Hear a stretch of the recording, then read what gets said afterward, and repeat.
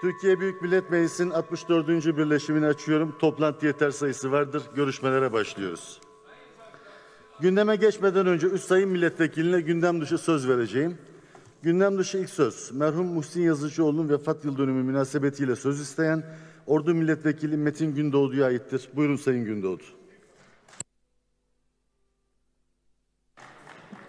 Sayın Başkanım, kıymetli milletvekilleri genel kurulu saygıyla selamlıyorum. Muhsin Yazıcıoğlu'nun vefat yıl dönümünde onu anmak ve anlamak üzere söz almış bulunuyorum. Milletine ve devletine ömrünü vakfetmiş, milletimizin delikanlısı, Anadolu yiğidi, Sivas'ın yiğidosuydu. Onu ilk Mamak Zulüm Kalesi'nde 1986 yılında bir ziyaret esnasında gördüm. 17 yıl onun izinde ve teşkilatlarında görev yaptım. Genel Başkan Yardımcılığı görevinde bulunmuş biri olarak onu anlatmak hiç kolay değil. Birilerinin Muhsin Başkanı, birilerinin Genel Başkanı, birilerinin ise Muhsin ağabeyi. Biz ise ona bakınca bu toprağın hüznünü ve neşesini, özlemini ve umudunu, kavgasını ve sevdasını, ağıtını ve zılgıtını, esaretini ve hürriyetini, hülasa bu toprağa ait olan her şeyi görür duyar, hisseder ve yaşardık. O bu toprağın Yiğit Muhsin Başkanı'ydı. Değerli milletvekilleri, 1980 yılında ihtilalden sonra cezaevi yılları ile ilgili 10 yıla yakın cezaevinde kaldım. 5,5 yıl hücrede geçti. Hiç ceza almadım. Ne devletime küstüm ne de kaderime küstüm. İnanmak, iman etmek varsa bir şeye bedel neyse ona da katlanırım. Ya Rabbi lütfun da hoş, kahrın da hoş derim diyor. Mamak cezaevinde yazdığı bir şiirin dizelerinde bahsettiği gibi yarpuzların ve kekik kokularının bol olduğu yerde helikopterinin düştüğü haberini aldık. Ülkemiz ve Türk İslam dünyası bu haber ile derinden sarsıldı. Kıymetli milletvekilleri, siyasi krizlerdeki duruşu millet tarafında her zaman takdirle karşılanmıştır. 28 Şubat'ta namlusunu millete döndüren tanka asla selam durmam diyerek millet iradesinin arkasında olmuştur. Muslim Başkanı 20 Mart 2009'da Ordu'dan uğurladık. Ordu'daki miting konuşması sanki veda konuşması gibiydi.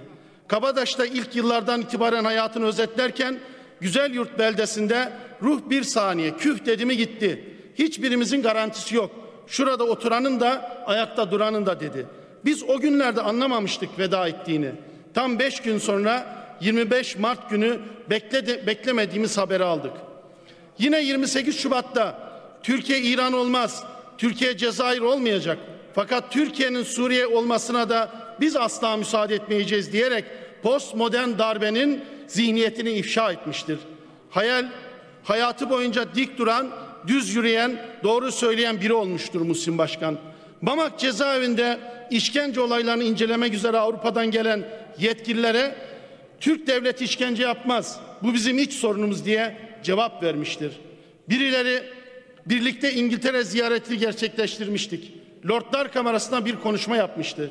Basın mensuplarının Türkiye'deki hükümete dönük sorusuna ben bir başka ülkenin parlamento çatısı altında ülkemin iç meselelerini tartışmam ve asla da tartıştırmam demişti.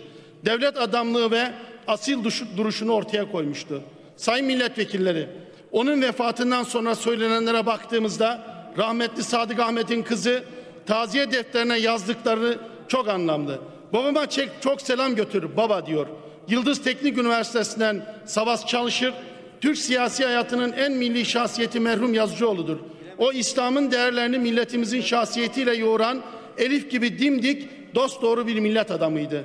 Kosova Priştine Üniversitesi'nin Arife Haskuka ise Sırp katliamına karşı defalarca çözüm üretme yollarına giden Yazıcıoğlu bugün Kosova'daki Türkler için tartışılmaz ve inkar edilmez şekilde yiğit adam olarak biliniyor.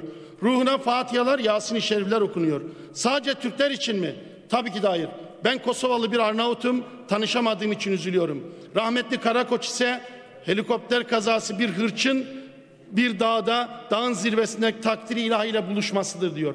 Rahmetli Hasan Celal Güzel ise Müslim Başkan açıkçası bu devrin adamı değil. Ona her bakışımda Ahmet Yesevi'den el almış, kılıcını kuşanmış, atının üzerinde Anadolu'yu aydınlatmak üzere mücadele eden Alperenleri, Kara Mürselleri, Sarı Saltukları, Akçakocaları görür gibi olurum. O 15 asırlık bir medeniyetin bu topraklardaki bin yıllık kültürüyle abat eden bir milletin gerçek temsilcisiydi diyor.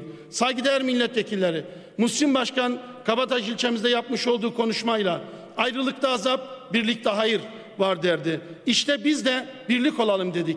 Kimin birliği? Benim partimdekilerin birliği değil. Olsa ne yazar? Ülkücülerin birliği değil. Olsa yetmez.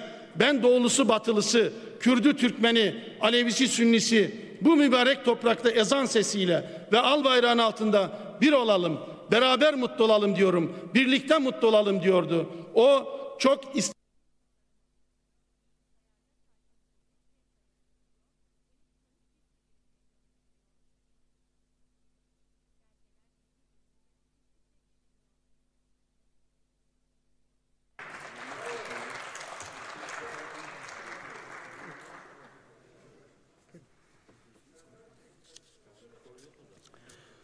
Gündem dışı ikinci söz 21 Mart Nevruz Bayramı münasebetiyle söz isteyen Ankara Milletvekili Nevin Taşlıçay'a aittir. Buyurun Sayın Taşlıçay.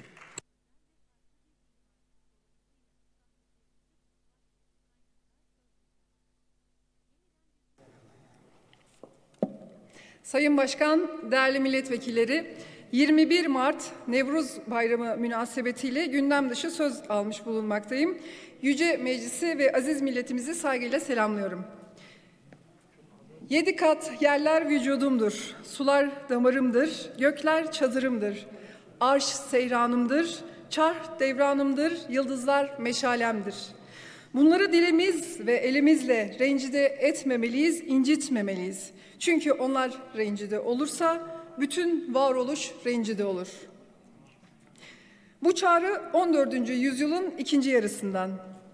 Yaşadığı coğrafyayla bütünleşen yaşam algısı dünyayı tüketmek üzerine değil, dünyayla bütünleşip yaşamın kendisine bürünmek üzerine olan, dahil olunmayanın güzelleştirilemeyeceği bilinciyle doğayı hizmetine alarak ona kendini üstün kılmayı değil, kendisini doğaya katmayı, onunla bir olmayı niyaz eden bir milletin gönül ocağından yetişen kaygısız abdaldan.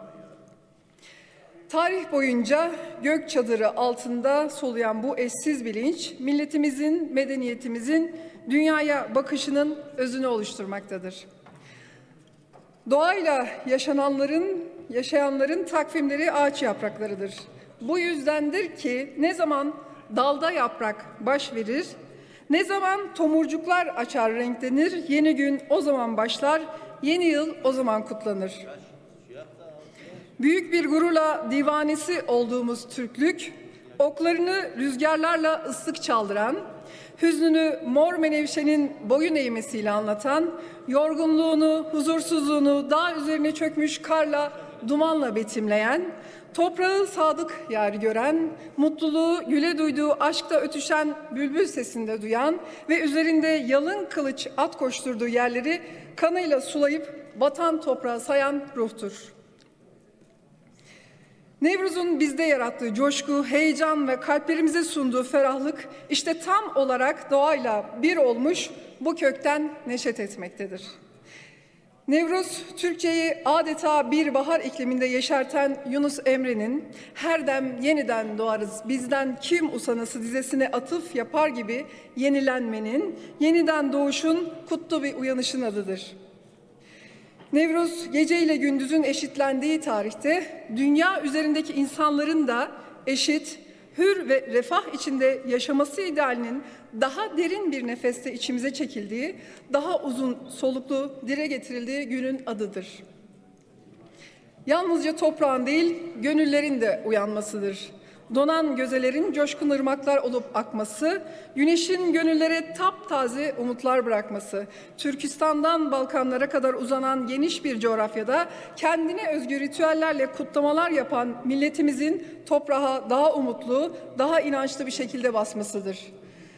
Bu tarihte Ergenekon'dan çıkan atalarımızın ötelerimize ışık tutmasıdır. Bu yüzden isteriz ki yeni gün anlamına gelen Nevruz, yüzyıllar sonrasına ulaştıracağımız şanlı adımızı, kutlu tarihimizi yücelterek gayretlerimizin daha da artmasına vesile olsun. Dede Korkut meşrepli milletimizin dilinden dökülen dualarla dileriz ki milletimizin karşı yatan yüce dağı yıkılmasın. Gölgelice ağaçları kesilmesin. Karlı buzlu akan gümrah suları kurumasın. Ektiğimiz göversin, diktiğimiz yeşersin.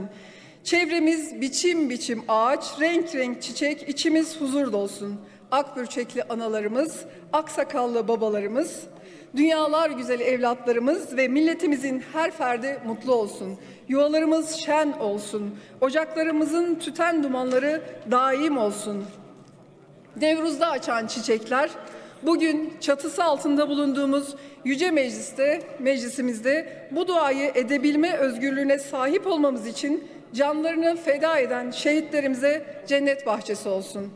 Bu duygu ve dua ile Nevruz bayramımızı kutluyor, genel kurulu saygıyla selamlıyorum.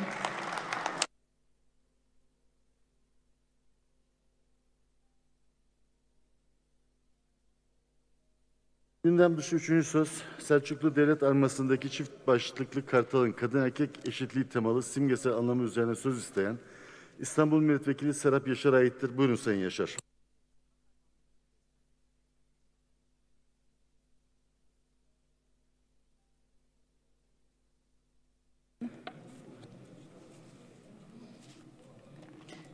Yalnız sıfırdan başlatabilir miyiz?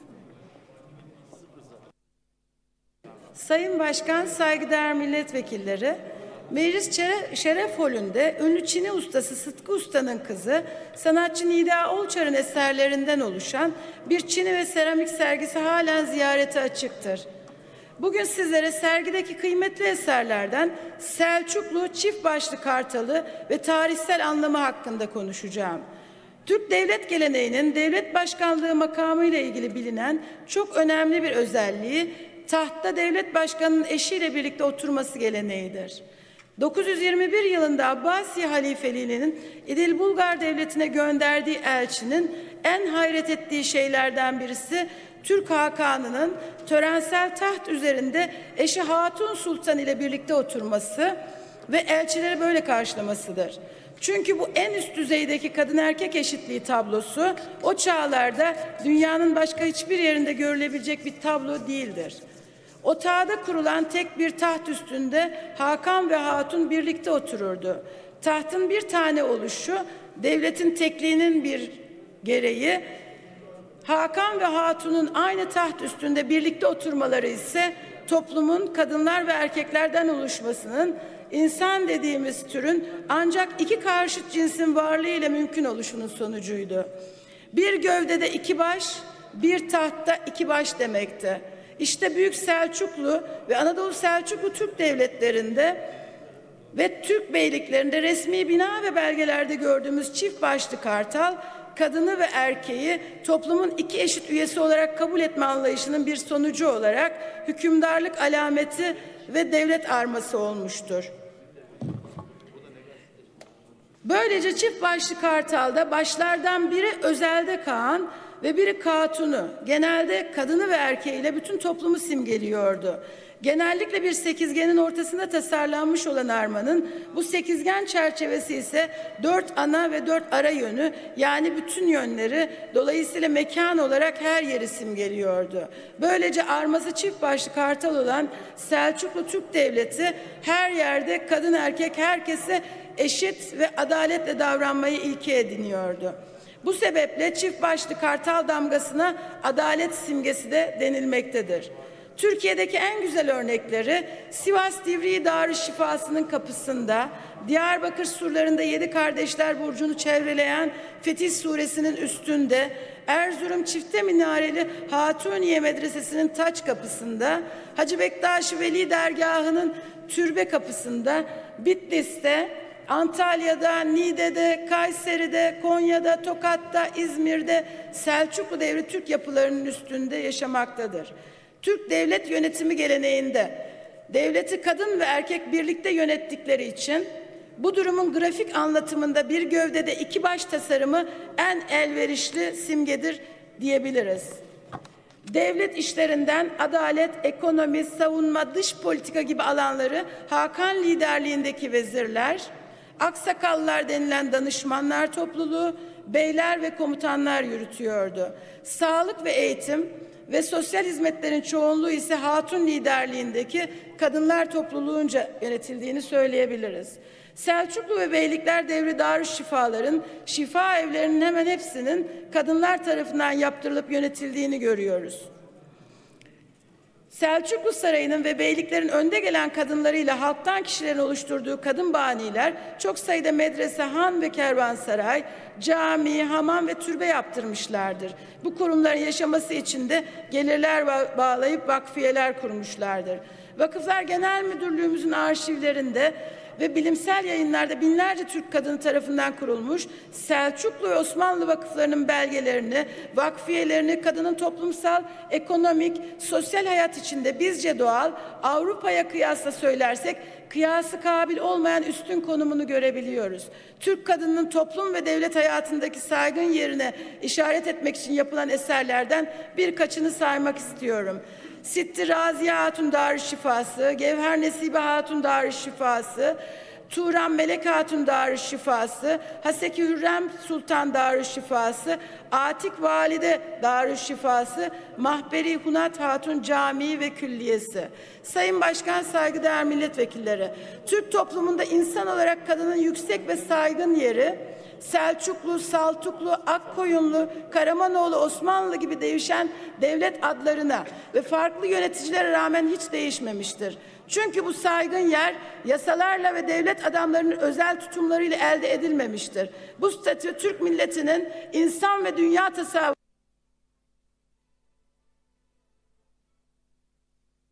Teşekkür ediyorum.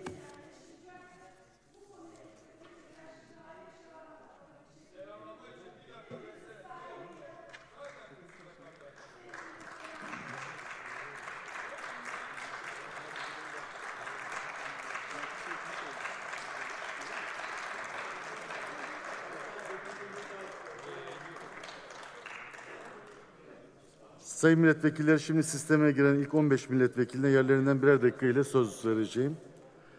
Ee, Sayın Başarır. Mahir Sayın Bey. Cumhurbaşkanı gerek geçtiğimiz Şubat ayında gerekse de dünkü kurultayda 2023'te uzayda olacağımızı söyledi. Ama maalesef eylemleriyle söylemleri pek birbirini tutmuyor.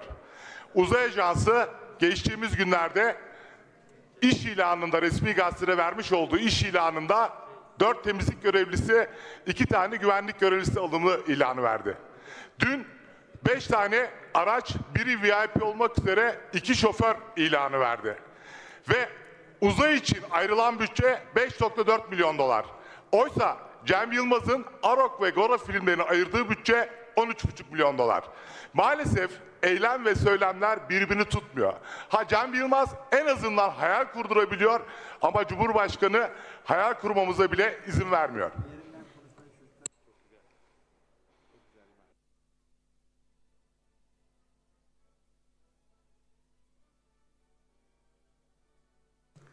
Sayın Çepni. Malatya Dedeyazı köyü maden işgali altında. Köyün arazileri ve suyu gasp edilmiş durumda. Köye çok yakın olan maden hem halkı hem de tarım alanlarını zehirliyor. Mezralara ve bahçelere giden köye ait yollar şirket tarafından kapatılıyor. En son Özgür Çelikkaya isimli köylü arazisine gitmek isterken yolu kapatan şirket çalışanları tarafından darp edildi. Yaşananlar kolluk güçlerinin de bilgisi ve gözetimi altında yaşanıyor. Maden şirketleri devletten aldıkları güçle mafya grupları gibi halkın malına ve canına kast ediyorlar. Sorumlu bakanlıklara sesleniyoruz. Bu talanı durdurun. Dedeyazı köyünün köyünün e, sesine kulak verin. Sayın Kılavuz. Teşekkür ediyorum Sayın Başkan. 2020 MEP öğretmen atama takvim formasyon konusunda mağduriyet yaratmaktadır. 2018 yılından itibaren formasyon uygulamasının kaldırıldığı, yerine tesis yüksek lisans düzenleneceği, formasyonsuz adayların ise mağdur edilmeyip sınavı kazananlara belgenin MEP tarafından verileceği ifade edilmiştir. Fakat 2020 MEP atama takviminde bu durum açıklığa kavuşturulamamış, fen ve edebiyat fakültelerinden mezun olup öğretmenlik hayali kuran gençlerimize yönelik bir düzenleme yapılmamıştır. Bu sebepten ötürü formasyonsuz adaylarda hak talep edebilecekleri şekilde kılavuzun güncellenmesi yerinde olacaktır. On binlerce Türk genci bizlerden müjdeli bir haber beklemektedir. Teşekkür ederim. Sayın Bayrakturan. Teşekkür ediyorum Sayın Başkan.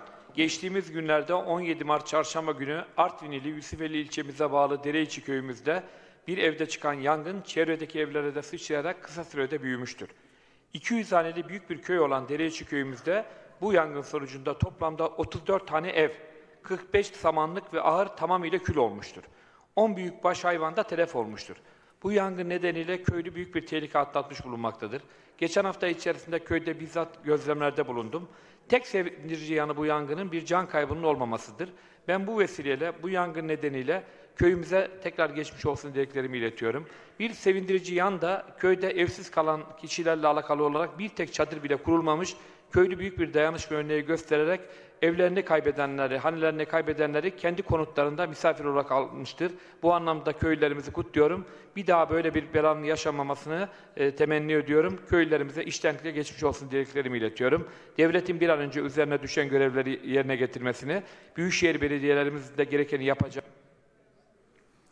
Sayın Taşkın. Teşekkür ederim Sayın Başkan. Faydalarını saymakla bitiremeyeceğimiz ormanlar bir ülkenin akciğerleri ve en önemli zenginlik kaynağı olarak geleceğimiz açısından çok önemlidir. Bu bilinçle AK Parti hükümetleri olarak Cumhurbaşkanımız Sayın Recep Tayyip Erdoğan liderliğinde Türkiye'nin orman alanı ve ağaç sayısını çoğaltmak, biyolojik çeşitlerini geliştirmek, çevreyi korumak amacıyla çok büyük yatırımlar yaptık. 2002'de 20.8 milyon hektar olan orman varlığımızı 1.9 milyon arttırarak 22.6 milyon hektara çıkardık. 5400 gelir getirisi köy ormanı tesis ettik. 136 adet şehir ormanı kurduk. Mesire yerlerimiz sayısında 1420 adede çıkardık. 2002'de 30 yılan milli park sayısını 45'e çıkarıp alan olarak da 9700 hektara yükselttik. İçinde bulunduğumuz orman haftası vesilesiyle tüm bu başarılı emeği olan Orman Teşkilatı'nın bütün çalışanı tebrik ediyor. Genel kurulu saygıyla selamlıyorum. Sayın Özkan. Türkiye'yi salgınla birlikte hızlanan yeni küresel siyasi ve ekonomik düzende hak ettiği yere çıkartmakta kararlıyız. Cumhurbaşkanımız Sayın Recep Tayyip Erdoğan liderliğinde reform programlarımızı bu hedefimize ulaşmamızı kolaylaştıracak ve hızlandıracak şekilde hazırlıyoruz. Her reform programımız kamudan özel sektöre, sivil toplumdan sosyal kesimlere kadar tüm tarafların görüşleri ışığında oluşturulmuştur. İstikrarı güçlendirmek için ekonomide makro politikalarımızı yapısal tedbirler ve dönüşümlerle destekliyoruz.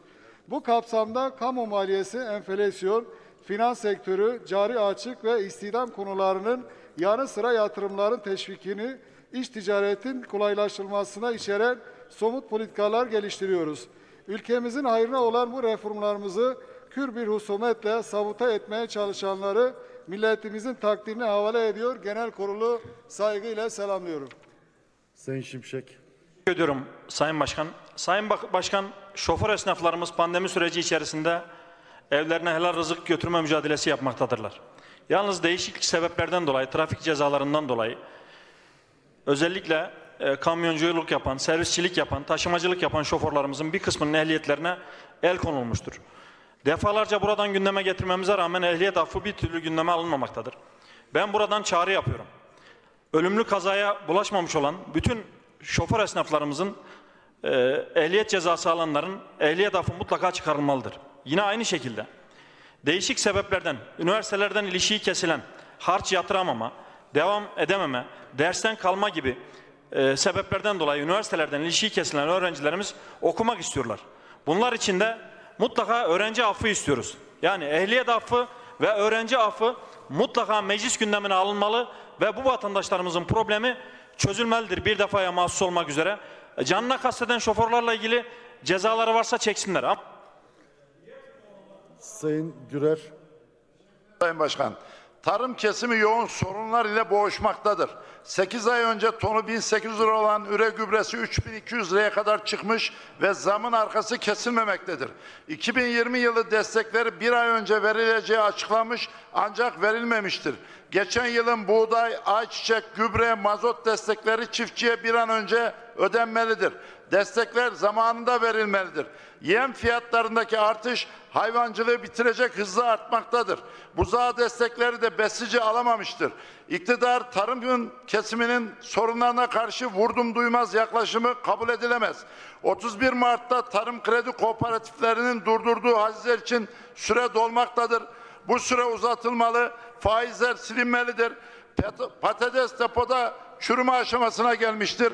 Toprak Mahsulleri Ofisi bir an önce patates alımına girmeli. Mağdur çiftçinin sorunlarıyla ilgilenmelidir. Gerek çiftçiler gese, gerek besiciler ciddi anlamda sıkıntı içindedir. Bakanlık bunlara çözüm üretmek zorundadır. Ne yazık ki alan Sayın Ceylan.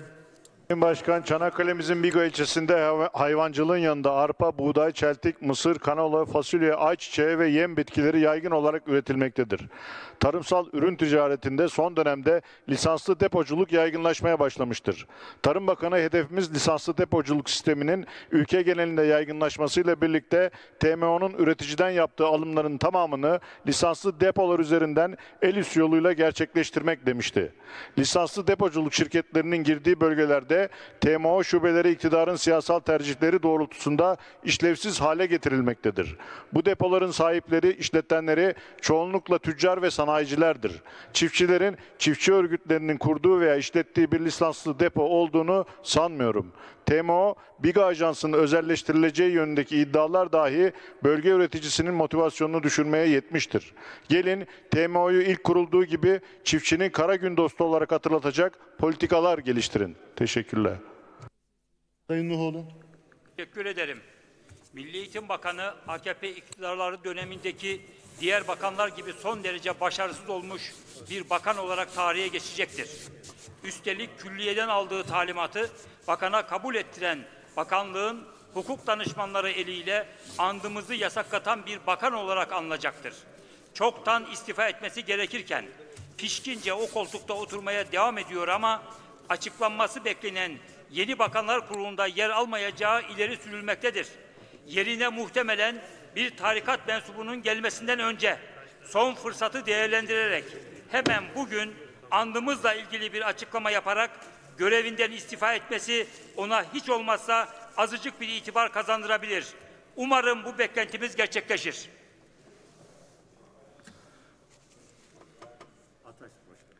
Sayın Ataş. Teşekkürler Sayın Başkan. Pandemi sürecinde başta sağlıkçılarımız olmak üzere tüm kamu personeli canları pahasına çalışıyor. Vatandaş eve hapsedildi, ekonomik krizle boğuşuyor. Esnaf kepek kapatmış, siftah yapamıyor, can çekişiyor. AKP ise 81 ilden insanları Ankara'ya toplamış, salon lebalep dolu diye siyasi şov peşinde koşuyor, kongre yapıyor. Dünyanın hiçbir ülkesinde bu kadar sorumsuzluk ve aymazlık görülmemiştir. Pandemiyle verilen mücadelede emeklere yazık değil mi? Sağlıkçılarımızın, esnafımızın ve sokakta maske takmıyor, mesafeye uymuyor diye ceza kestiğiniz vatandaşımızın yüzüne nasıl bakacaksınız? Bu saatten sonra alınacak bütün önlemler anlamsız, yetkililer tarafından yapılan bütün açıklamalar değersizdir. Salgından dolayı hayatını kaybeden her bir vatandaşımızın vebali üzerinizdedir diyor. Genel kurulu saygıyla selamlıyorum. Sayın Güneş. Teşekkür ederim. Teşekkür ederim başkanım. Ey sonsuzluğun sahibi, sana ulaşmak istiyorum. Durun kapanmayın pencerelerim, güneşimi kapatmayın. Beton çok soğuk, üşüyorum diyen ve karlı bir kış, günü soğukta hayatını kaybeden vatan ve millet sevdalısı Muhsin Yazıcıoğlu ilkeli duruşuyla Türk siyasi hayatında iz bırakan liderlerden biri olmuştur. Vefatının 12. yılında Muhsin Yazıcıoğlu ve yol arkadaşlarını rahmetle minnetle anıyorum. Mekanları cennet, makamları âli olsun diyor. Genel kurulu saygıyla selamlıyorum. Sayın Etyemez. Teşekkürler Sayın Başkan. Cumhurbaşkanımız Sayın Recep Tayyip Erdoğan'ın liderliğinde ortaya koyduğumuz milli teknoloji hamlesi vizyonumuz ile ülkemizi teknoloji ve bilimde öncü bir ülke haline getirmek için çalışıyoruz. Bu kapsamda Türkiye'den dışarıya beyin göçünün olmaması ve dışarıdan Türkiye'ye beyin göçünü özendirmek için projeler hayata geçiriyoruz. Uluslararası Lider Araştırmacılar Programı'yla 21 farklı ülkeden 127 çok üst düzey araştırmalar yapan lider araştırmacı ülkemize kazandırılmıştır. 2020 yılında Türkiye'de araştırmalarına devam eden bilim insanları için başlattığımız Ulusal Lider Araştırmalar Programı ile 42 bilim insanına destek verilmiştir. Yeni başlattığımız Uluslararası Genç Araştırmacılar Programı ile bu yıl gelecek vadeden 100 genç araştırmacıyı ülkemizin bilim ekosisteminin dahil edeceğiz. Türkiye'ye beyin göçünü özendiren ve bilimsel çalışmalar yapan nitelikli insanlarımızın ülkemizde kalmasını teşvik eden Sanayi ve Teknoloji Bakanı Sayın Mustafa Varanka ve tüm emeği Sayın Çakır. Başkan bir cesur yüreği kendi dizeleriyle almak istiyorum. Bir coşku var içimde bugün kıpır kıpır. Uzak, çok uzak bir yerleri özlüyorum. Gözlerim parke parke taş duvarlarda. Açılıyor hayal pencerelerim. Hafif bir rüzgar gibi süzülüyorum. Kekik kokulu koyaklardan aşarak güvercinler ülkesinde dolaşıyor, bir çeşme başı arıyorum. Yarpuzlar arasında kendimi bırakıp mis gibi nane kokular arasında ruhumu dinlemek istiyorum. Zikre dalmış her şey, güne gülümserken papatyalar, dualar gibi yükselir ümitlerim. Güneşte kol kola kırlarda koşarak siz peygamber çiçekleri toplarken ben çeşme başında uzanmak istiyorum. Huzur dolu içimde ben sonsuzluğu düşünüyorum. Ey sonsuzluğun sahibi sana ulaşmak istiyorum. Durun kapanmayın pencerelerim, güneşimi kapatmayın. Beton çok soğuk, üşüyorum. Muhsin Yazıcıoğlu'nu rahmetle yad ediyor. Genel kurulu saygıyla selamlıyorum. Sayın Şahin. Teşekkür ederim Sayın Başkan. Türkiye ve AK Parti iktidarı son zamanlarda farklı bir vesayeti yaşıyor. Bu vesayetin adı Ayasofya Başimamı Boynu Kalın Vesayeti. Devlet memuru olan başimamın siyaseti yönlendirme noktasında hemen hemen her konuda görüş ve önerileri var. Sayın Başimam layıklık anayasadan kaldırılsın diyerek anayasayı dizayn etmeye çalışıyor. Faiz kaldırılsın diyerek ekonomiyi dizayn ediyor. İstanbul Sözleşmesi feshedilsin diyerek kadın haklarını düzenliyor. Her konuda uzmanlığı var. Adeta başimam değil, baş uzman. Kendisine tavsiyemiz, AK Parti Grup Başkan Vekilleriyle polemiğe girecek derecede siyasete meraklıysa devlet memurluğundan istifa etmesi ve siyasete girmesidir. Teşekkür ediyor. Genel kurulu saygıyla selamlıyorum. Sayın milletvekilleri şimdi Sayın Grup Başkan Vekillerinin söz taleplerini karşılayacağım. Sayın Türkkan buyurun. Sayın Başkan, değerli milletvekilleri, hayatını milletine ve davasına adayan Büyük Birlik Partisi Genel Başkanı Muhsin Yazıcıoğlu'nun 12. ölüm yıl dönümü bugün. Karanlıkta bırakılan bir helikopter kazası sonucu aramızdan ayrılan merhum Yazıcıoğlu'na rahmet diliyorum. Kendisini özlemle anıyorum. Merhum Yazıcıoğlu ömrü boyunca devlete karşılık beklemeden büyük fedakarlıkla hizmet etmiştir. Muhsin Yazıcıoğlu'nun annesi merhume Fidan Yazıcıoğlu'nun bir sözünü hatırlatmak istiyorum. Diyor ki Fidan anne, Muhsin'imi biliyor musunuz? İki oğlumdan biriydi diyor. Evlatlarım arasında en az onu ben gördüydüm. Devlet çağırıyor, millet bekliyor der giderdi diyor. O devleti bir kere bekledi, onda da devlet gelmedi diyor. Allah her ikisine de rahmet eylesin, mekanları cennet olsun. Aradan geçen 12 yıla rağmen dava neticelenememiş, kaza mı yoksa suikast mı olduğu ortaya çıkartılamamıştır. Bu cinayetin üstünü örtmek değil, katilleri, gerçek katilleri bulunana kadar devlet gereğini yapmalıdır. Adalet ve Kalkınma Partisi döneminde işlenen bu cinayetin failleri ortaya çıkarılmadan Muhsin Yazıcıoğlu'nun ruhu rahat etmeyecektir. Cumartesi günü aldığı Merkez Bankası Başkanı değişimi kararı ile ekonomi, ekonomiyi tepe taklak eden Sayın Erdoğan günler sonra ilk kez dün AK Parti kongresinde konuştu. Ekonomi kötü, battık diyenlere inanmayın ifadesini kullandı. Sayın Erdoğan gerçekleri milletimizden saklamaya çalışsa da doğru. Evet battık. Buradan söylüyor battık. Merkez Bankası rezervleri Cumhuriyet tarihinde ilk kez eksiye düştü. Zor gün parası olarak da adlandırılan Merkez Bankası'nın ihtiyat akçesi de iktidarınız döneminde sıfırlandı. Devam edin. Deprem vergileri ve hatta işsizlik fonu bile harcandı. Covid-19 gibi toplumun her kesimini etkileyen bir pandemide bile kullanılacak tek kuruş bırakılmadı maalesef. Batmadık diyorsunuz ama bir yıldır borçlanan, işlerini çevirmeyen ve batan esnafımızı kurtaracak maddi kaynağı da sağlayamıyorsunuz. Batmadık diyorsunuz ama işsiz kalan, bir yıldır evine ekmek götüremeyen vatandaşımıza da destek olamıyorsunuz. Vatandaş gelir yetersizliğinden, alım gücünün düşüklüğünden yakınırken enflasyon, faiz ve döviz kurlarının yükselmesi, yükselmesini durduramıyorsunuz. Asgari ücretliyi açlığa mahkum ediyorsunuz. Emekliye asgari ücretin bile altında maaş veriyorsunuz. Memuru, işçiyi ve çalışanları yaptığınız yetersiz zamlarla enflasyona ezdiriyorsunuz. Batmadık diyorsunuz ama iktidara geldiğinizde 125 milyar dolar olan dış borcumuz bugün 453 milyar Devam edin buyurun. Genç işsizlik ve beyin göçü yaşadığımız en sıkıntılı ekonomik buhranlarda bile olmadığı kadar tarihin en yüksek seviyesine çıktı. Yeni kurulmuş cumhuriyetin kalkınmak için zor şartlarda kurduğu fabrikalar kapatıldı, üretim ve istihdam azaldı, ithalat arttı, tarım ve çiftçi bitirildi. Türkiye Cumhuriyeti devletlerin kaynaklarını 19 yıldır tükettiniz. Milletimizi fakirleştirdiniz. Türk ekonomisi Sayın Erdoğan şoförlüğünde freni patlamış bir kamyon misali yokuş aşağı sürüklenmeye devam ediyor. Gerçekler acıdır. Evet battık.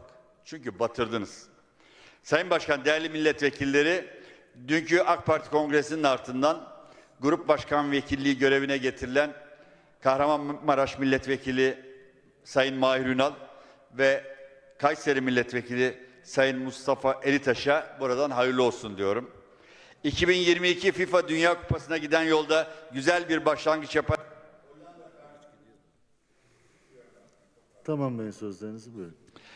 2022 FIFA Dünya Kupası'na giden yolda güzel bir başlangıç yaparak Hollanda karşısında galibiyet alan Türk milli futbol takımımızı tebrik ediyorum. Başarıların devamını diliyorum. Son olarak Kilis'ten söz etmek istiyorum Sayın Başkan. Ülkemize gelen Suriyelilerin Kilis'e yerleşmesiyle şehrin demografik yapısı gerçek anlamda bozuldu. Yaşanan ekonomik krizle beraber Kilisli esnaf devletten gereken desteği alamıyor. Ancak iş yeri olan Suriyeli işletme sahiplerine Alman Giz Kuruluşu ve ülkemizde kurulu Senet Derneği adındaki dernek aracılığı ile işletmelerini kayıt altına almaları karşılığında 25 bin liraya kadar destek veriliyor. Dernek yardımları işe başlama vergi kaydı için 2 bin lira, yemek yardımı ve kira desteğiyle 25 bin liraya kadar çıkıyor. Kilis yatırımlarda da devlet desteklerinden mahrum bırakıldı. Kilis OSB 6. bölge desteklerinden faydalanırken kent geneli 5. bölgede değerlendirilmektedir. OSB'ye müracaat Tamamlayın buyurun. OSB'ye müracaat edecek olan Türk yatırımcı yer bulamaz iken 100 dönümlere varan arsalar Suriyelilere verilmekte. Bu Suriyeli işletmeler fabrikalarında neredeyse hiç Türk işçi istihdamı yapmamaktadır. Ve çalışanların tamamına yakını da Suriyelilerden oluşmaktadır. Her, her 10 personel sayısı arasında bir kişi olan yabancı çalıştırma kontenjanı iş Suriyelilere gelince aranmamakta. Devletin bu yanlış politikasının sonucu da kilisler çekilmektedir. Kilis adeta Suriyelilerin cenneti olmuştur.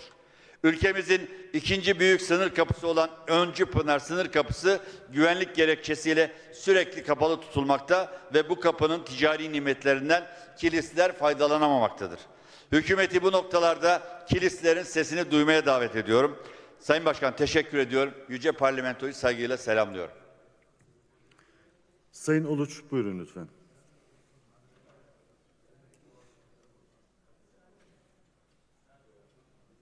Teşekkür ederim Sayın Başkan, Sayın Vekiller. Ee, 26 yıl önce ilk kez 27 Mayıs 1995'te Galatasaray, İstanbul Galatasaray Meydanı'nda oturma eylemi yapmaya başladı. 15-20 kişilik bir grup ve o günden de bugüne kadar cumartesi anneleri, cumartesi insanları olarak e, isimlendirilen, tanımlanan e, insanlar aslında dünyanın belki de en barışçı eylemini sürdürdüler. Zaman zaman kesintiye uğradı e, bu eylem.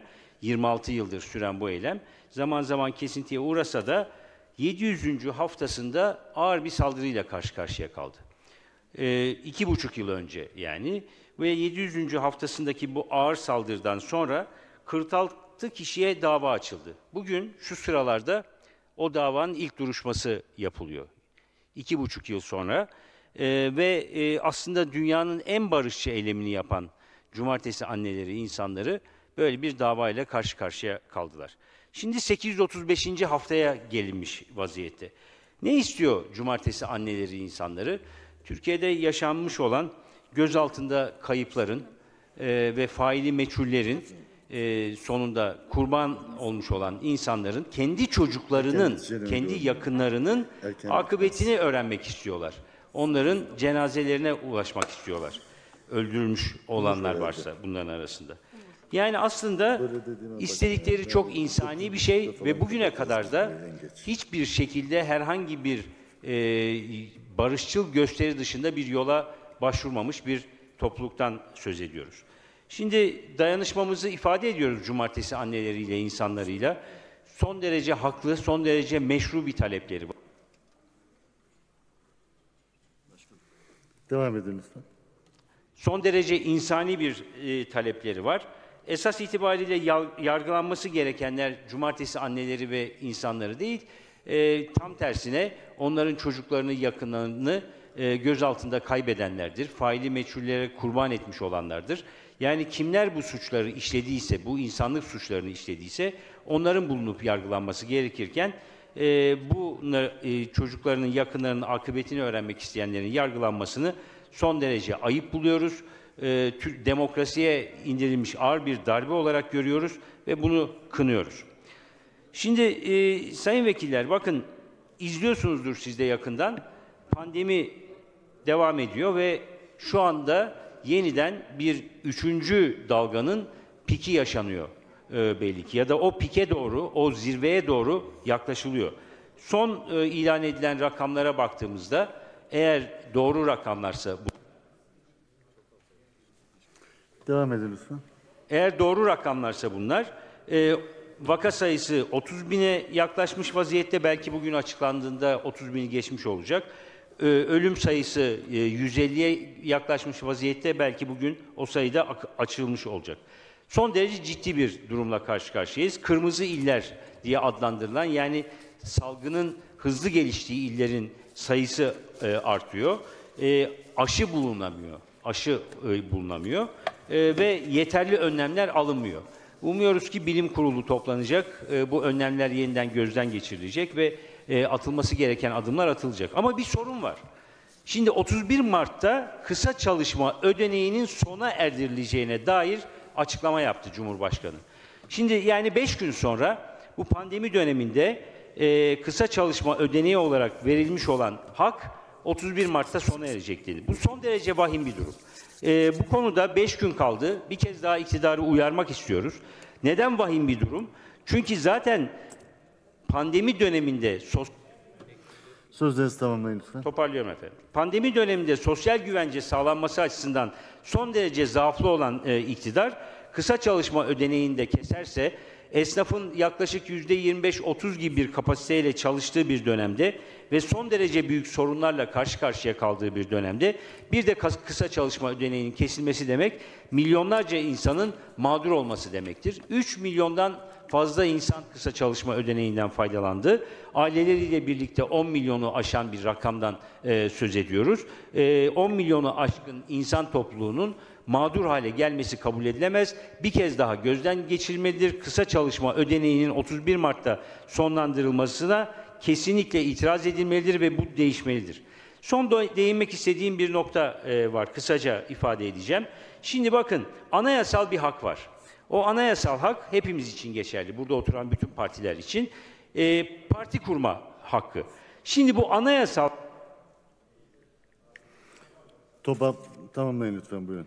Bu anayasal hak bir süredir İçişleri Bakanlığı tarafından engelleniyor. Bu hakkın kullanılması engelleniyor. Daha evvel ben burada dile getirmiştim. İnsan ve Özgürlük Partisi kurulmak için başvurmuştu. Ee, ve bu başvurunun sonunda biliyorsunuz partilerin kurulmasının yöntemi gerekli evrakları tamamladıktan sonra başvurunuzu yaparsınız e, alındı belgesi verilir ve parti çalışmasına başlar. Örgütlenme çalışmasına ve faaliyetlerine başlar. İnsan ve Özgürlük Partisi 3 senedir alındı belgesini alamıyordu. E, bunu e, daha evvel de dile getirdik. Şimdi bir partinin başına daha geldi. Yeşiller Partisi, Partisi kuruluş evraklarını bütün usulüne uygun şekilde 21 Eylül 2020'de teslim etmiş ve o günden bugüne kadar alındı belgesi verilmiyor. Herhangi bir şekilde kendileriyle görüşülmüyor. Herhangi bir şekilde aranmıyorlar. Geldiklerinde avukatlar ve kurucular dahil olmak üzere randevu verilmiyor. Bir türlü ilgili şahıslar yerlerinde bulunamıyor. Bakın Son cümlelerinizi alayım lütfen. 21 Eylül 2020'den bugüne kadar Yeşiller Partisi'nin kuruluşu İçişleri Bakanlığı tarafından e, engelleniyor ve bütün başvurular e, cevapsız bırakılıyor. Tüzel kişilik kazanılamıyor e, bir türlü. E, anayasadan kaynaklanan bir haktır. Tekrar hatırlatıyorum. Örgütlenme hakkı. Her yurttaşın bu hakkı vardır ve bu hakkın kullanılması şu anda cebren ve hile ile İçişleri Bakanlığı tarafından engellenmektedir. Bunu bir kez daha dile getiriyorum. Bu konu hem ulusal alanda hem de uluslararası alanda mutlaka ama mutlaka bir hakkın engellenmesi olarak da gündeme gelmeye devam edecektir. Bunu da hatırlatıyorum. Teşekkür ederim.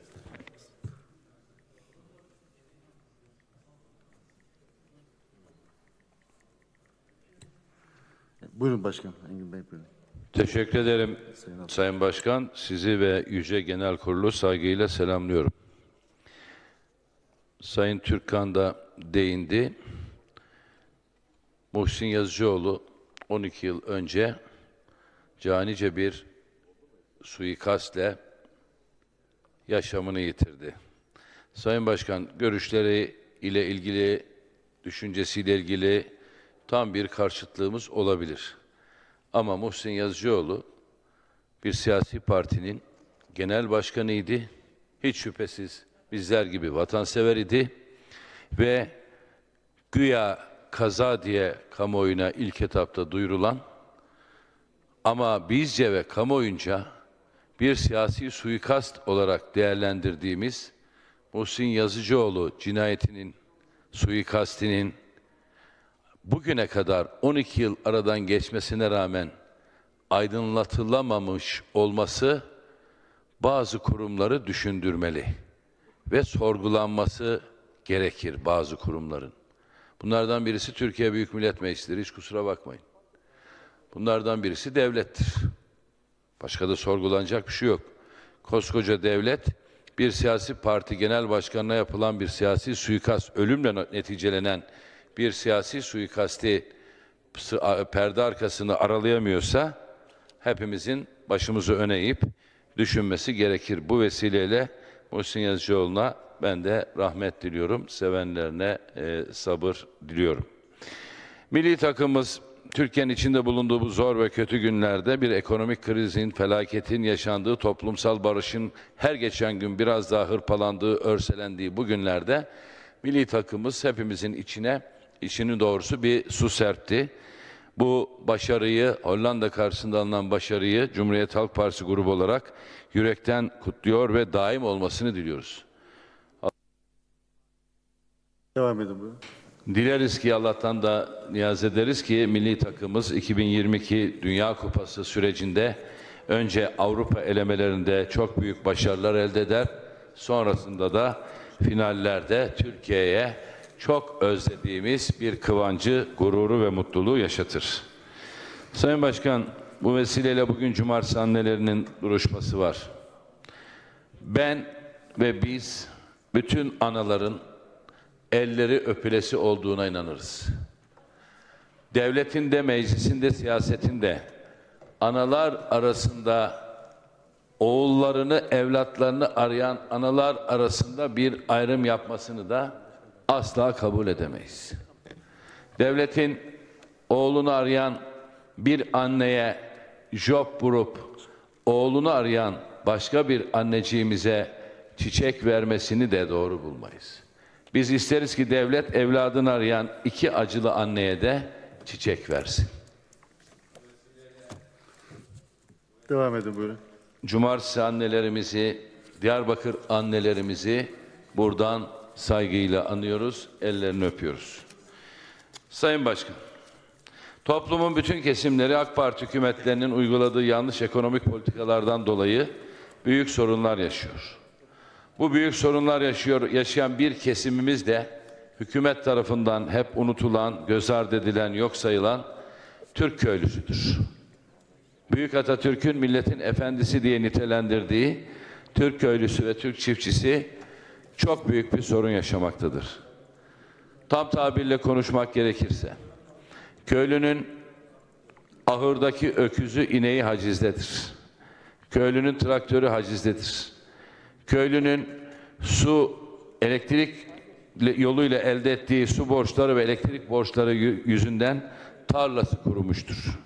Şimdi 31 Mart 2021 tarihine kadar tarım kredi kooperatifleri icra işlemleri durdurulmuş idi. Buyurun devam edin. Ha, iyi dedik. Kanun çıkmadı ama. Meclis bir sürü işle uğraşırken kanun çıkarma konusunda maalesef gereğini yapamadı. Yürütmenin ve sarayın da bir gayreti ve hamlesi olmadı. Bugün ayın 25. 31 Mart'a 6 gün kaldı. Bugünü de saymazsam 5 gün kaldı. 5 gün sonra Türk köylüsü ne yapacak? Yani ahırındaki öküzünü, ineğini, koyununu, keçisini, avludaki traktörünü gidip haciz mi edecek? Devlet, Tarım Kredi Kooperatifi, Ziraat Bankası. Niğde Milletvekilimiz Sayın Ömer Fethi Gürer bu konuyla ilgili bu sorunu dile getiren bir sorun ergesini veriyor. Çok enteresan.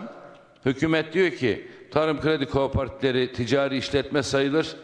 Bunu bir çiftçi borcu gibi düşünmek doğru değil.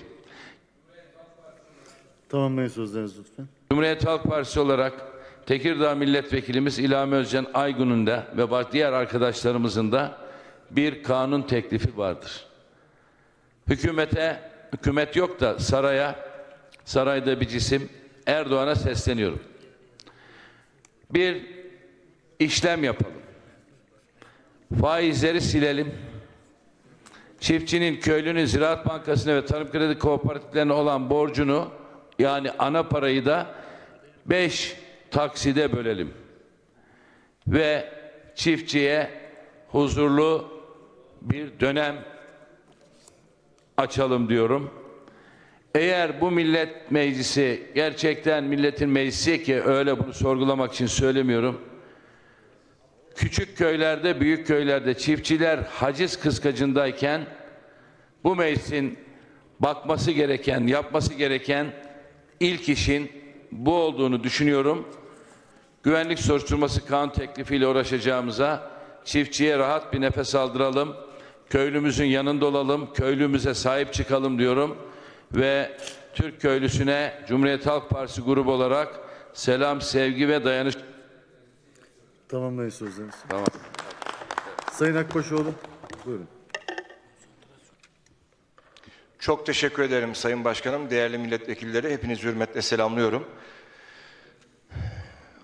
2009 yılında 12 yıl önce bugün Büyük Birlik Partisi Genel Başkanı Sayın Muhsin Yazıcıoğlu'nun Kahramanmaraş'ta bir helikopter kazası neticesinde kendilerinin ve dava arkadaşlarının, vatandaşlarımızın helikopter düşmesi sonucu şehit olduğunu gerçekten büyük bir teessürle öğrenmiştik.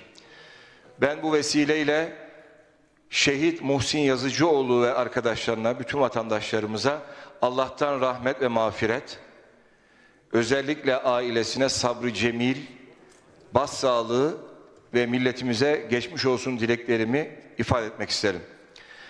Ülkemizin ve aziz milletimizin en zor dönemlerinde milli bir duruş sergileyerek namlusunu halka çevirmiş tanka selam durmam diyerek ülkesinin ve milletinin yanında olan şehit Muhsin Yazıcıoğlu hakikaten bu duruşuyla hepimize örneklik teşkil edecek bir duruşu miras bırakmıştır.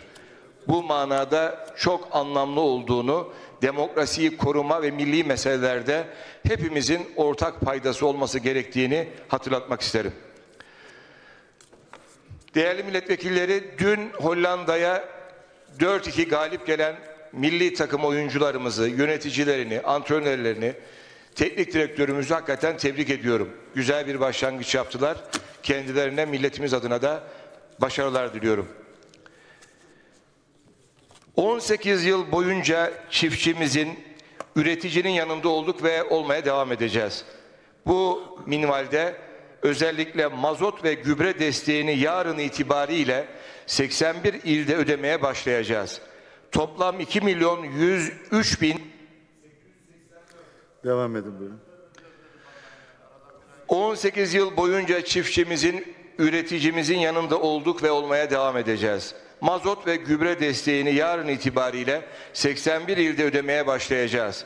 Toplam 2 milyon 103 bin 884 çiftçimizin 4 milyar 79 milyon 656 bin 503 lira destek ödemesi inşallah yapacağız.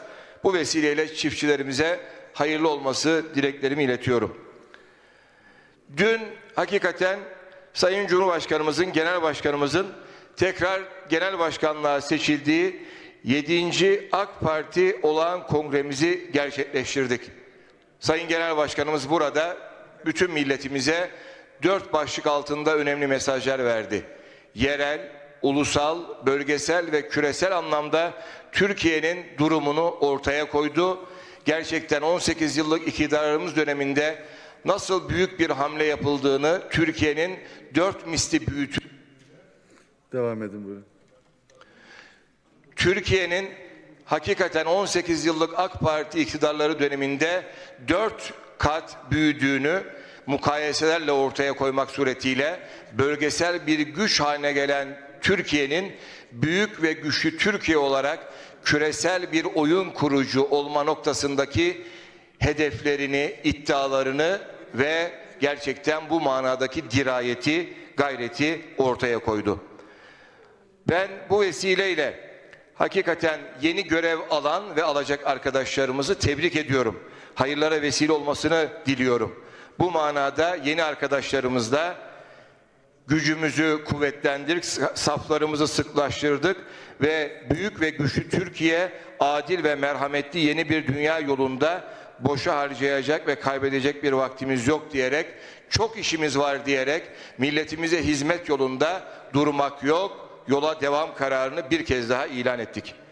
Bu manada bu Tamamlayın sözlerinizi buyurun. bu anlamda bugüne kadar emeği geçen bütün arkadaşlarımıza, çalışma arkadaşlarımıza, yeni görev alan arkadaşlarımıza canı gönülden teşekkür ediyor ve üstün başarılarının devamını diliyorum. Değerli arkadaşlar, önümüzdeki dönem için hakikaten hepimizin yeni anayasayla ilgili bir takım yaklaşımları, vaatleri ve teklifleri söz konusu. Cumhur İttifakı olarak yeni dönemde en önem verdiğimiz çalışmaların başında yerli, milli ve sivil yeni bir anayasa gelmektedir. Her anayasa hazırlığında anayasamıza sirayet eden o darbe ruhundan anayasamızı kurtaracak bir anayasanın yapılması herkes tarafından ifade edilmektedir. Cumhuriyetimizin 100. yılı olan 2023 yılında inşallah bunu Cumhuriyetimizi bir yeni sivil anayasayla taşlandıralım istiyoruz. Ve böylelikle 2053 ve 2071 hedeflerimize doğru Tamamlayın sözlerinizi lütfen. 2053 ve 2071 hedeflerimize doğru hep birlikte milletçe, devletçe yol alalım istiyoruz. Bu konuda bizim anayasa hazırlığında temel düsturumuz aziz milletimizin hassasiyetleri olacaktır. Ve milletimizin istediği şekilde şekillenmiş bir anayasa bizim istediğimiz anayasadır. En geniş tabanda oluşturulacak bu yeni anayasa inşallah milletimizin huzurunu, mutluluğunu, özgürlüğünü, refahını ve bütün dünya milletleri ailesine örnekliğini ortaya koyacak şekilde bir anayasayı inşa edelim. Çağrımızı ben de meclisten dün Sayın Genel Başkanımızın, Cumhurbaşkanımızın kongremizde yaptığı çağrıya buradan tekrar karşılık vererek bu çağrıyı bütün partilere, bütün sivil toplum kuruluşlarına, bütün milletimize yineliyorum. Gündemimizde hukuk ve ekonomi reformlarını uygulama var. Gündemimizde özellikle aile, eğitim Son kez açıyorum. Efendim? Gündemimize gündemimize Siz mi söylüyorsunuz Sayın ve bunu? ekonomi reformlarını uygulamayla devam edeceğiz. Bu manada insan hakları eylem planı ve ekonomi reformu uygulama eylem planlarını inşallah hayata geçirip bu konudaki düzenlemeleri hep beraber meclis olarak görüşeceğiz. Ve gündemimizde aile, eğitim ve kültür konularında yeni bir milli şahlanış ve yükselişi inşallah gerçekleştireceğiz diyor. Bu mealde meclisimizin yapacağı katkılar münasebetiyle de bütün meclisimize, milletvekillerimize teşekkürlerimi sunuyor. Hepinizi hürmetle, muhabbetle selamlıyorum.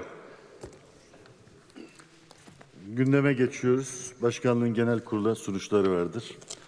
Küresel iklim değişikliğinin etkilerinin en aza indirilmesi, kuraklıkla mücadele ve su kaynaklarının verimli kullanılması için alınması gereken tedbirlerin belirlenmesi amacıyla kurulan Meclis Araştırma Komisyonu Başkan, Başkan Vekili, Sözcü ve Katip seçimine dair bir tezkeresi vardır. Okutuyorum. Türkiye Büyük Millet Meclisi Başkanlığı'na komisyonumuz başkan, başkan vekili, sözcü ve katip seçimi için 23.3.2021 Salı günü saat 15.30'da toplanmış ve kullanılan 17 adet oy pusulasının tasnifi sonucu aşağıda adları ve soyadları yazılı üyeler karşılarında gösterilen oyu alarak iş tüzüğün 24. maddesi uyarınca başkan, başkan vekili, sözcü ve katip seçilmişlerdir. Bilgilerinize arz ederim saygılarımla. Veysel Eroğlu, Afyon Karahisar Milletvekili, Komisyon Geçici Başkanı, Başkan Veysel Eroğlu, Afyon Karahisar Milletvekili 14 oy. Başkan Vekili Nevzat Ceylan, Ankara Milletvekili 14 oy. Sözcü Semra Kaplan Kıvırcık, Manisa Milletvekili 13 oy. Katip Hasan Kalyoncu, İzmir Milletvekili 12 oy. 3 adet boş oy kullanılmıştır. Bilgilerinize sunulmuştur. İyi Parti grubunun iş tüzüğünün 19. maddesine göre verilmiş bir önerisi vardır. Okutup işlem alacağım ve oylarınıza sunacağım. Türkiye Büyük Millet Meclisi Başkanlığı'na Danışma Kurulu 25.3.2021 Perşembe günü bugün toplanamadığından grubumuzun aşağıdaki önerisinin iş tüzüğünün 19. maddesi gereğince genel kurulun onayına sunulmasını saygılarımla arz ederim. Lütfi Türkan, Kocaeli Milletvekili, Grup Başkan Vekili. Öneri, Aksaray Milletvekili Ayhan Erel ve 20 milletvekili tarafından Nevşehir'de yaşayan vatandaşların sorunlarının araştırılarak alınması gereken önlemlerin belirlenmesi amacıyla 18.03.2021 tarihinde Türkiye Büyük Millet Meclisi Başkanlığı'na verilmiş olan meclis araştırma önergesinin diğer önergelerin önüne alınarak görüşmelerin 25.03.2021 Perşembe günkü birleşiminde yapılması önerilmiştir. Önerin gerekçesini açıklamak üzere İyi Parti grubu adına Sayın Ayhan Erel. Buyurun.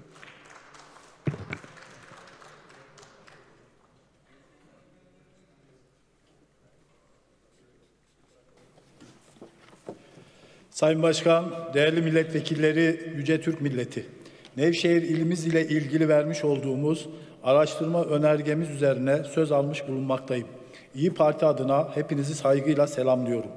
Bir turizm şahikası olan Nevşehir'de Avanos, Ürgüp, Göreme, Akvadi, Uçhisar ve Ortahisar kaleleri, Elnazar Kilisesi, Aynalı Kilise, Güvercinlik Vadisi, Derinkuyu, Kaymaklı Yeraltı şehirleri, Çavuşin, Güllüdere Vadisi, Paşabağ, Zel ve belli başlı görülmesi gereken yerlerdir.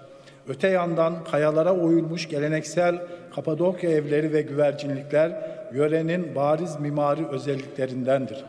Burada tabiat en tabii görünümdedir. Bu topraklar pek çok tarihi ve kültürel değeri medeniyetimize kazandırmıştır. Damat İbrahim Paşa, Refik Paşaran, Başaran, Ürgüplü Hayri Efendi, Hacı Bektaş Veli bunlardan bazılarıdır. Nevşehir'in sorunlarına göz attığımızda kapanan Tasko Birlik 5 bin üyesi bulunan bir kooperatif idi. 200 kişi buradan ekmek parası kazanmakta, evine ekmek götürmekteydi. Önce kapatıldı, daha sonra kiraya verildi, şimdi de icra yoluyla satılık. Bölgenin bağlarında yetişen üzümleri alan ve tarıma büyük bir katkısı olan bu kurumun bir şekliyle tekrar Nevşehir'e kazandırılması gerekiyor. Hem Tasko Birliği'nin kapanması hem de bağcılıkta yaşanan girdi fiyatları nedeniyle Nevşehir'de bağcılık bitme noktasına gelmiştir. Nevşehir'de çiftçilerimiz elektrik ücretlerinin yüksek olmasından dolayı tarımdan vazgeçme durumuyla karşı karşıya kalmışlardır. Çiftçilerimiz başta elektrik olmak üzere girdi fiyatları çok fazla olduğu için artık tarlalarını ekemez hale gelmiş, zengin toprakların yoksul köylüleri haline dönüşmüştür. Derin kuyulu çiftçilerimiz özellikle elektriğe indirim yapılmasını ve indirim sonrasında elektrik borçlarının taksitlendirilmesini beklemektedirler. Avanos ilçesinde bulunan Kızılırmak Nehri'nde kurulan hidroelektrik santrallerinin su tutmasıyla oluşan çevre kirliliği ve canlı yaşam açısından büyük tehlike oluşturmasından dolayı çevre halkı mağdur olmuştur. Avanos'a bağlı Topaklı köyünde yıllık 7 bin ton pancar üretimi yapılmaktadır. Teslim yeri olarak 200 kilometre uzaklıktaki fabrika olması üreticilerimize artı bir nakliye masrafı çıkarmakta ve mağdur olmaktadırlar. Ürgüp Devlet Hastanesi'nde yaşanan doktor yetersizliği vatandaşlarımızı mağdur etmektedir. Özellikle öğrenci sayısının çokluğu ve turistlerin fazlalığı nedeniyle hem hastane hem de doktorlar yetersiz kalmaktadır.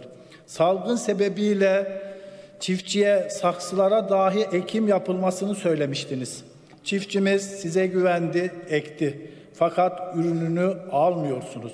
Nevşehir'de, Niğde'de, Aksaray'da, Kayseri'de binlerce ton patates alıcı bekliyor. Artık depolardaki patates çürümeye yüz tuttu. Bir ay içerisinde, bu ay içerisinde eğer patates alınmazsa, satılmazsa çöpe dökülecek. Çiftçimiz 1 liraya mal ettiği patatesi 40 kuruşa vermek istiyor ama yine alan yok. Ve bu ay içerisinde bu satış gerçekleşmezse 2021'de sanırım patates ekiminden vazgeçecek. Beğenmediğiniz geçmiş dönemlerdeki siyasi irade ne yapıyordu biliyor musunuz? Vatandaşın elinde kalan tüm patatesleri alıp askeri kışlalarda, hastanelerde, yatılı okullarda veya sosyal yardımlaşma dayanışma vakfı aracılığıyla yoksul vatandaşlara vererek hem çiftçiyi, tarımı korumakta hem de bir sosyal yardımı yerine getirmekte idi. Keşke siz de böyle yapsanız, vatandaşın bu sıkıntısına çözüm bulabilseniz. Artık Niğde'de, Nevşehir'de, Kayseri'de, Aksaray'da patates üreticileri canından bezmiş intihar aşamasına gelmiştir. Lütfen bu sese kulak veriniz. Yine Ürgüp Göreme'de ev, otel, bağ evleri yıkımları derhal durdurulmalıdır. Bölge halkı ekonomik kriz ve salgının sebebiyet verdiği sıkıntılarla uğraşırken bir de 3194 sayılı imar kanunu eklediğiniz geçici 16. maddeye güvenerek vatandaş öküzünü sattı, traktörünü sattı, evine bir imar barışıyla beraber iskan izni aldı ve maalesef şimdi alan yönetimiyle birlikte daha önce almış olduğu bu izinler yok sayılarak buradaki bağ evleri, bağdaki işte tarımda kullandığı aletleri koyduğu evler yıkılma aşamasına. Teşekkür ediyorum Sayın Erel.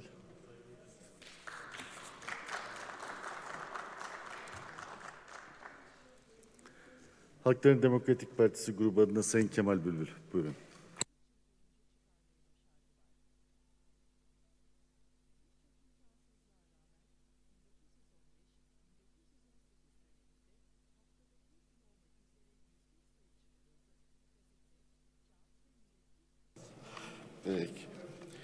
Sayın Başkan, değerli genel kurulu üyeleri, herkese sevgi ve saygılar. Kuzum diyor, kadasını aldığım diyor. Dört dil bilsen ne olur, Nevşehirli olup da bir ne örüyorsun demedikten sonra. Ne örüyorsunuz sevgili Nevşehirliler dediğimizde de ne örek diyorlar. İşte bir tür çaresizlik yani. Neden? Tarım, turizm, hayvancılık, esnaf ve hizmet sektörü üzerine döngüsü olan bir şehir. Ee, tarım konusunda sulamayla ilgili efendim tarım girdileri, elektrik fiyatı, ürün alımı, ürün fiyatı ve benzeri konusundaki ayyuka çıkmış sorunlar zaten biliniyor. Hayvancılık konusunda yeterli destek ve yönlendirmenin olmadığı, otlak sorununun olduğu, Kızılırmak Havzası'nın yeterince değerlendirilmediği, zaten Kızılırmak Havzası HES'lerle kuşatılmış vaziyette. Ve turizm konusunda tam Kapadokya yöresi ortasında Nevşehir'in odağında Kapadokya yöresine dönük geçen yıl bir yasa çıkarılmış idi. Buna rağmen Kapadokya'nın reklamının yapılması, Kapadokya'da yönlendirme tabelaları, Kapadokya'nın potansiyelinin değerlendirilmesi. Mesela önergede bir şey var çok güzel. Bütün hepsinin öyle yapılmasını ben rica ediyorum sevgili önergeyi veren arkadaşımdan. Demiş ki Avanos'ta bir hapishane var kullanılmıyor.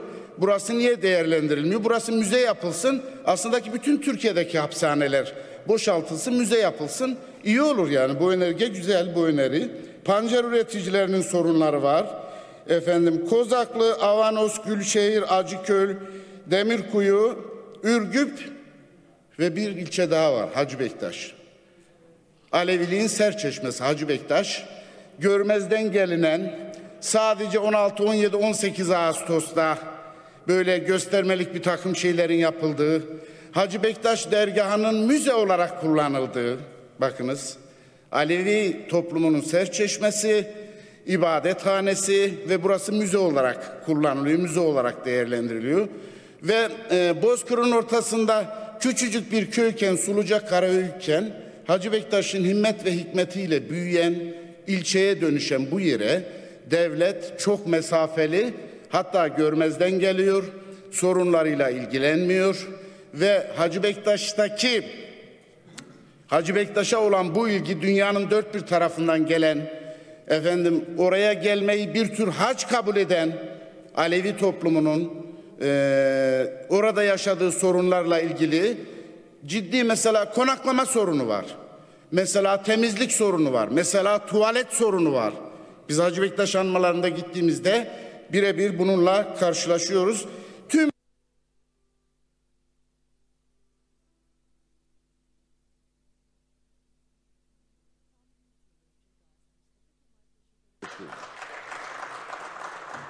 Cumhuriyet Halk Partisi grubu adına Sayın Faruk Sarıaslan. Buyurun Faruk Bey.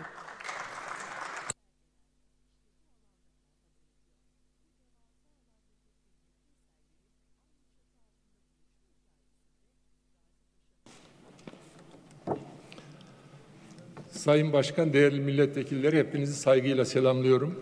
İç Anadolu'nun sevdiği bir türkü var. Dert bir değil elvan elvan diye.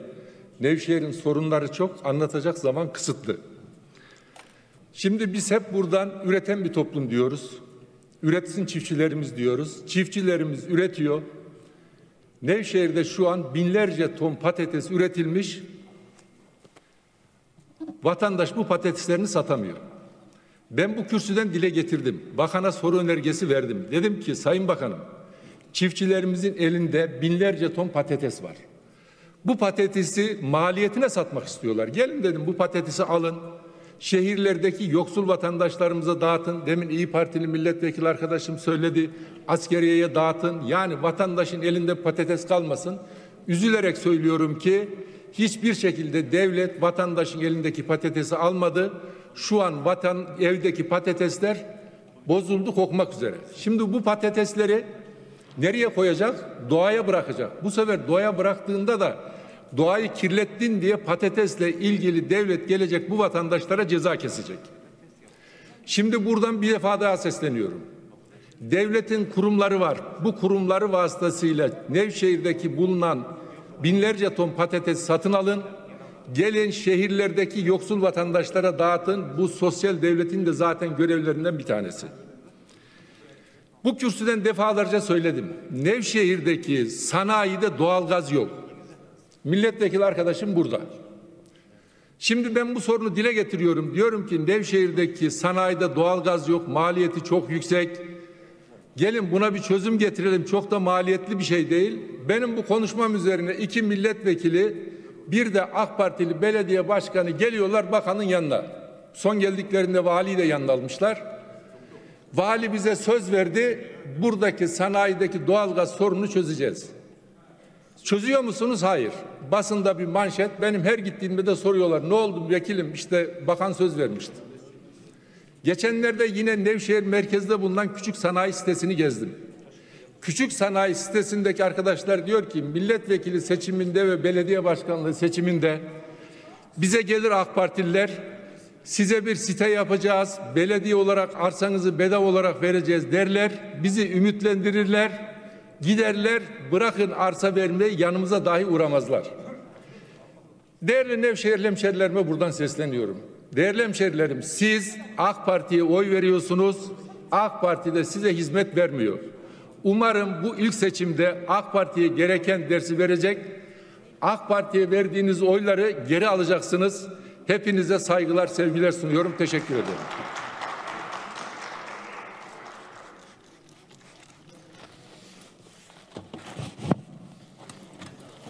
Adalet ve Kalkınma Partisi grubu adına Sayın Yücel Menekşe. Buyurun Sayın Menekşe.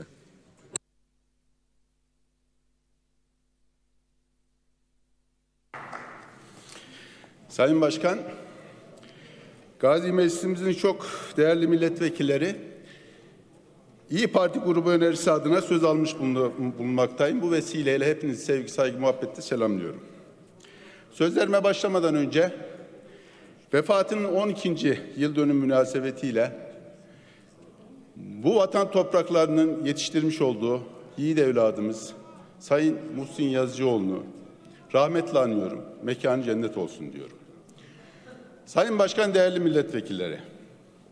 Aslında hatiplerin Nevşehir'le ilgili söylemiş oldukları sorunları keşke zaman olsa da 20 dakika falan ben tek tek hepsine cevap verebilme imkanı bulabilmiş olsam. Çiftçilerimizle ilgili sorunlar dile getirildi. Evet, enerjide, enerjide, mazot ve gübrede devletimiz Cumhuriyet tarihinde olmayan desteği şu an hükümet olarak çiftçilerimize vermek durumundayız. Bugün patatesle ilgili sorun gündeme geldi. Keşke hatipler bize sormuş olsalardı biz bunların cevabını çok net bir şekilde verebilirdik. Evet biz bu konuda at, hükümet olarak Azerbaycan, Gürcistan ve bu sadece bizim mü, yerel e, mücadelemiz değil, Ticaret Bakanlığımız, Tarım Bakanlığımız, Sanayi Bakanlığımız hepsiyle yaptığımız görüşmelerde şu an şu an inşallah en kısa zamanda bunun çözümünde bulacağız diyorum. Evet, nakliye ücretini dahi devletimiz şu an karşılıyor. Artı aile ve sosyal politikalar olsun, yerel yönetimler olsun. Bu konuya el atmış durumdayız. Dolayısıyla şu an depodaki patatesleri evet depodaki patateslerimizi en kısa zamanda inşallah çıkarmak için mücadele ediyoruz. Sayın, Sayın milletvekilleri. Fethi Bey, Sayın Güler lütfen, rica ediyorum. lütfen. Bakın sizin isminizi biliyorum, Sorunuzu- görüyorsunuz. Sorunuzu sordunuz, o zaman dinlemeyi bileceksiniz. Kusura bakmayın.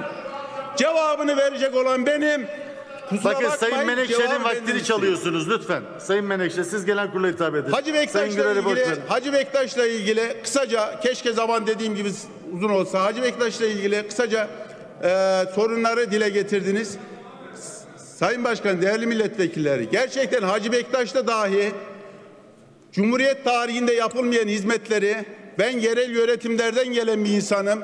Dolayısıyla her yıl Hacı Bektaş'a hizmet etmek için verdiğimiz mücadeleyi yerelde bir görseniz çıkıp bu kürsüden Hacı Bektaş'la ilgili olumsuz ifadeler kullanmazsınız. Kesinlikle hükümetimiz Hacı Bektaş noktasında o kadar kararlı adımlar attı ki, o kadar mücadele verdi.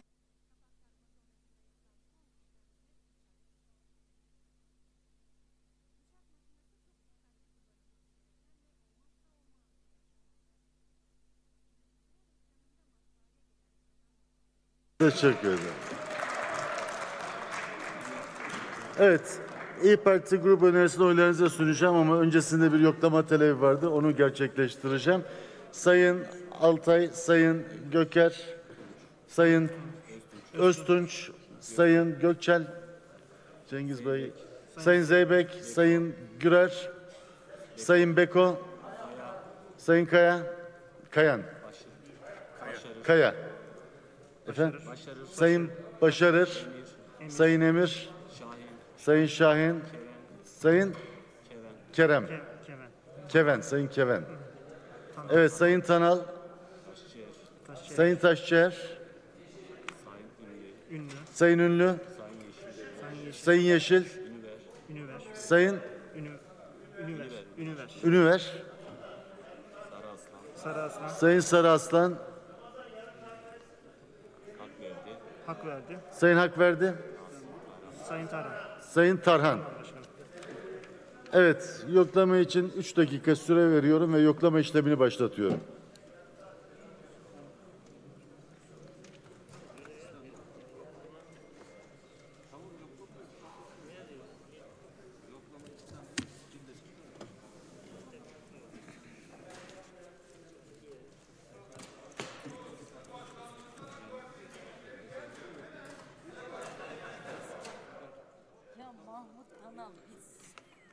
Sayın Tanal ben de bir çözsem.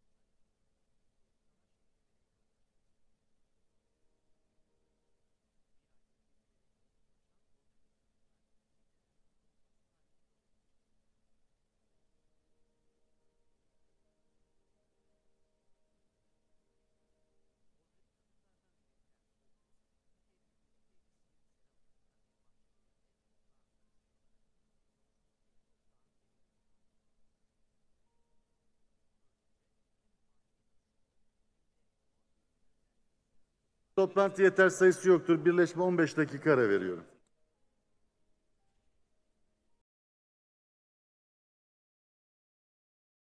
Türkiye Büyük Millet Meclisi'nin 64. birleşimin ikinci oturumunu açıyorum. İyi Parti grup önerisinin oylamasından önce istem üzerine yapılan yoklamada toplantı yeter sayısı bulunamamıştı. Şimdi yoklama işlemini tekrarlayacağım. Yoklama için 3 dakika süre veriyorum. Yoklama işlemini başlatıyorum.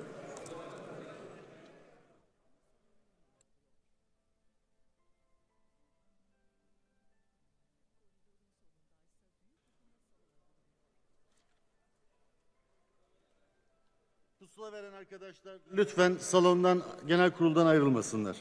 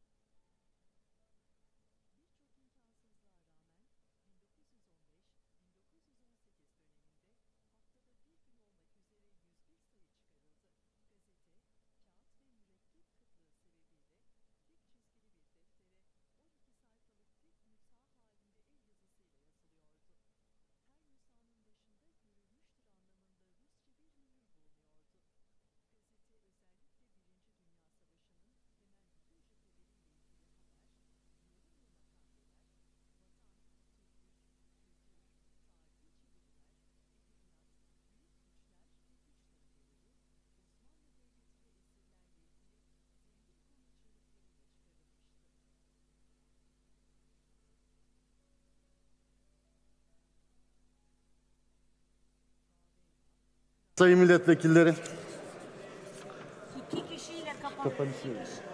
toplantı yeter sayısı yoktur. Meclis iki kişiyle kapandı. İki eksikle.